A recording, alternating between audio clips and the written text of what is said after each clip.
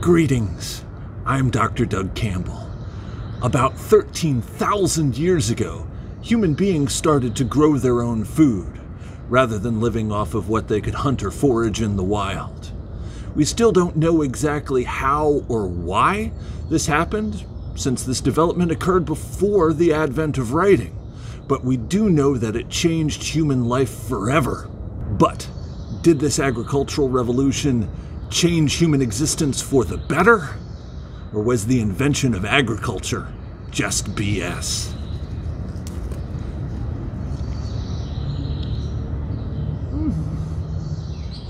The invention of agriculture is sometimes called the Neolithic Revolution because it happened in the tail end of the Stone Age.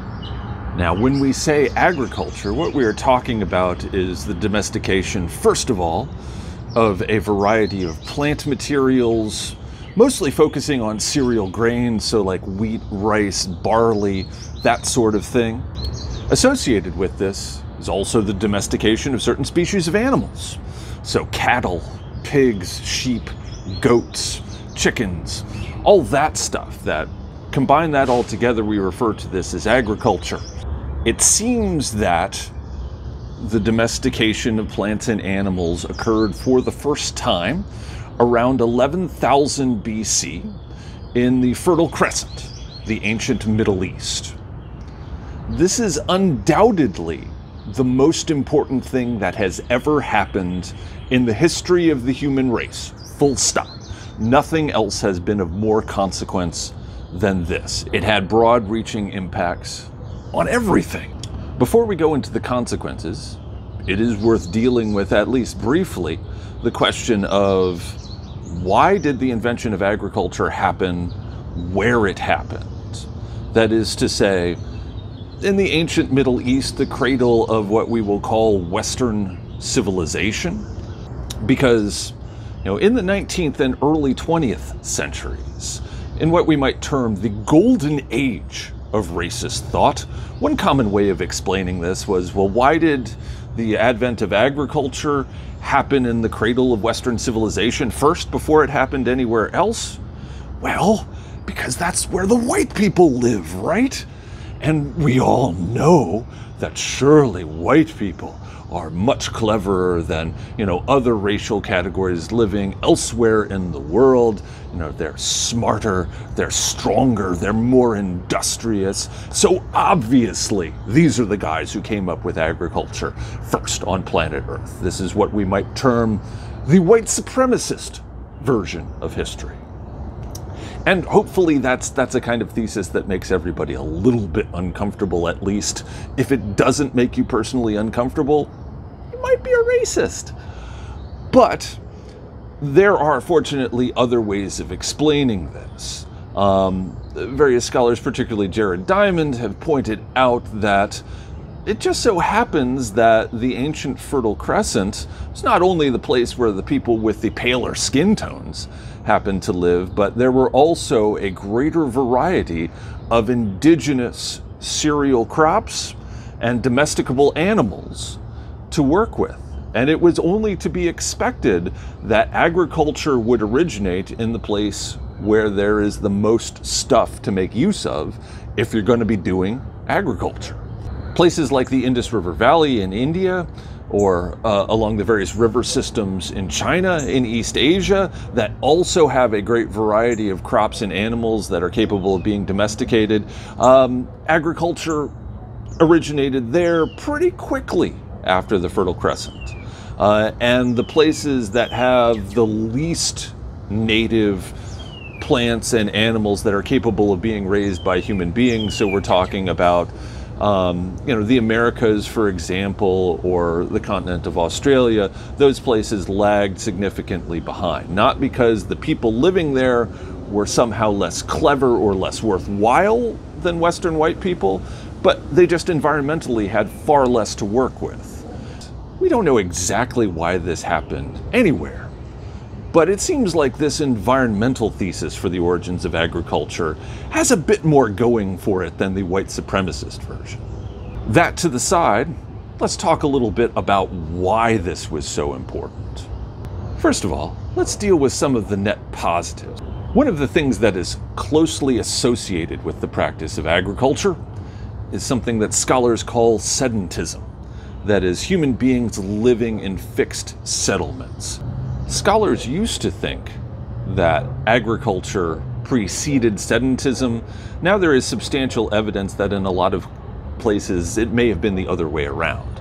That human beings in environments where there's a lot of naturally occurring food sources, so seashores or marshlands, where you don't have to move around a lot, but there's still a lot that you can just harvest or forage naturally. Um, that living in fixed settlements may have preceded agriculture and facilitated the development of agriculture. Regardless, though, agriculture and fixed settlements always go hand in hand. It is certainly also true that per hour of labor, uh, an agriculturalist is capable of producing more calories than a hunter forager. So that means that agriculture is a calorically more productive lifestyle. It is capable of sustaining a larger population. So unsurprisingly, that's exactly what happened is that the earliest agricultural communities were an order of magnitude larger than hunter-forager communities, which were essentially extended kinship groups. So, you know, a few dozen people. At the, the advent of agricultural society, you were capable of supporting communities of many hundreds of people. Um, as things progress, eventually thousands. Um, and those sorts of societies are an order of magnitude more complex and capable of producing much more labor. And that's kind of the key to why agriculture was such an important development, is that the complexity of these societies and the productivity of these societies allowed them to be able to do stuff that these smaller hunter forager communities never could. So everything that has happened subsequently, all of the great works of monumental architecture, the, the wonders of the ancient world, the tremendous empires that rose and fell, uh, only agricultural communities had sufficient labor force and complexity to do that. Uh, also, to the diversity of these societies. In hunter-forager communities, everybody pretty much does the same thing. Everybody is involved in efforts to acquire food. Whereas, because individual labor hours are more productive in agricultural societies, this frees up at least a certain segment of the population to be involved in something other than food production. And that other uh, can be all sorts of stuff skilled artisanal labor, um, uh, positions of political or military leadership, uh, religion, uh, culture, the arts. Uh, certainly, it's worth mentioning that uh, literacy is something that often follows along with agricultural societies. And so, all of the things that follow from that, the accumulation of knowledge. I mean, ultimately, why this is so important is that it is a, a pretty straight shot from the origins of agriculture to everything that we appreciate uh, about the modern world. So, you know, reading, watching movies or, or TV shows, uh, in video games, the, the fact that we've been to the moon which I mean that that's something to appreciate. You ever look up at the sky uh, at the moon on a clear night and go, "Holy crap! Somebody walked on that! That's awesome!" That doesn't happen without agriculture. Like obviously the effects aren't immediate, but they are significant. Okay, so that, that all sounds great, right? Like, why would you even ask the question, is this BS?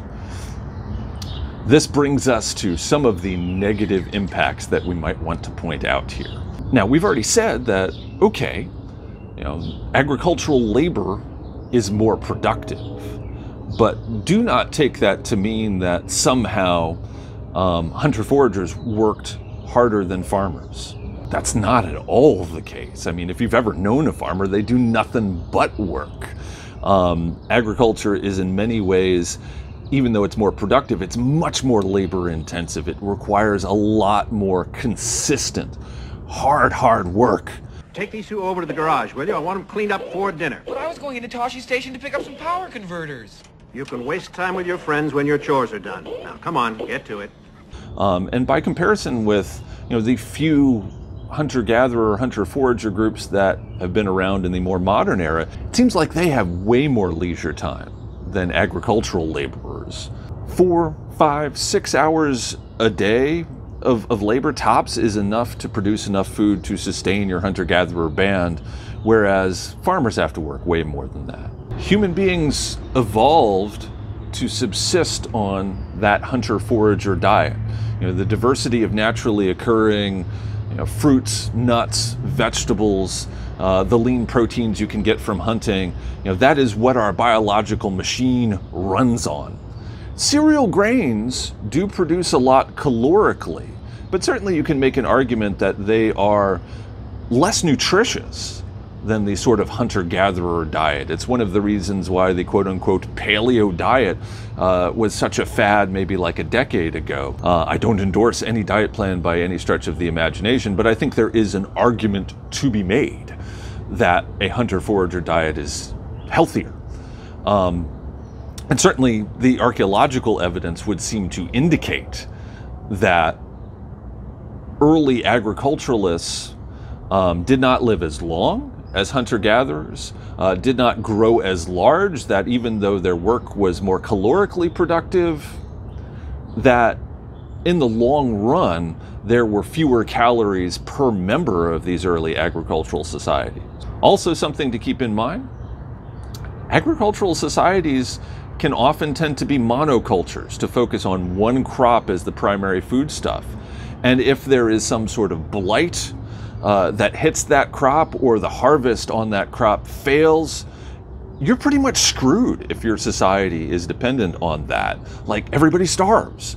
That's not to say that hunter gatherer bands are immune to famines, but they tend to be more mobile and more adaptable uh, with those sorts of challenges. Also, if you've got fixed settlements with lots of human waste being generated, human beings living in close quarters with their domesticated animals, that is a ripe environment for the spread of epidemic disease and the mutation of various viruses from animal species uh, to hop over to human beings. I'm recording this video in 2020 during the whole COVID thing, so, you know, that kind of pandemic outbreak is only a problem in agricultural societies. It doesn't strike hunter gatherer societies anywhere near as hard. And we already mentioned that agricultural society permits economic specialization, but with that invariably comes social inequality. That because not everybody does the same thing, it's not much of a leap to have that small group that says, well, we perform a special economic function in our society to then make the argument, and therefore we are special. We deserve to be treated accordingly.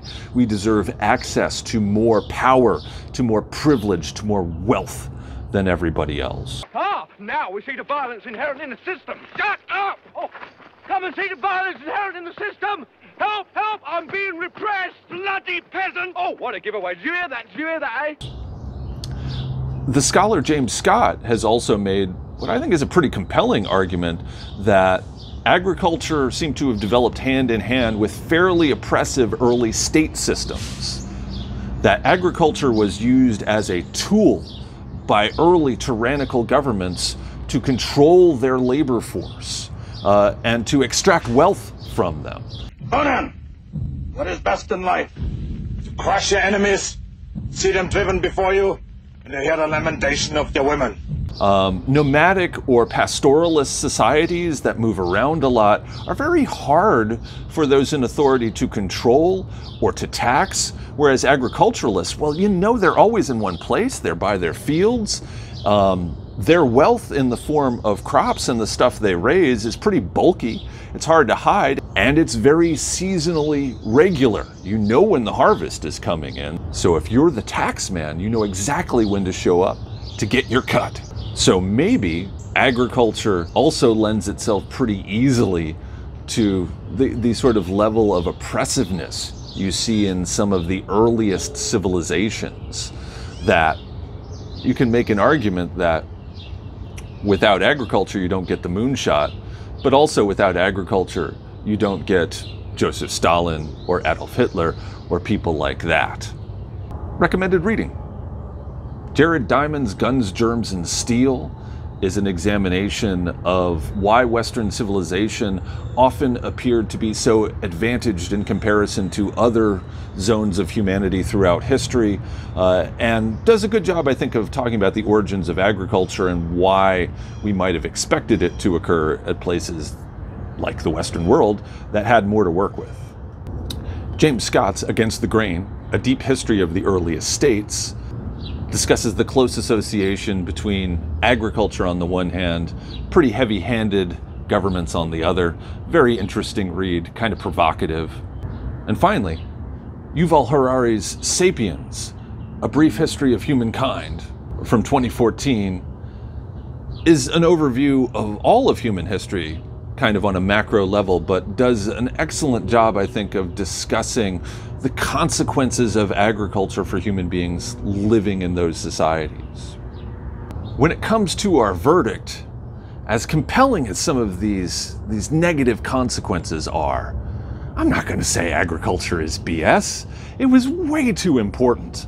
Uh, and personally, I like living in a society where you can have a cold beer, or read a good book, or watch a movie, or live indoors.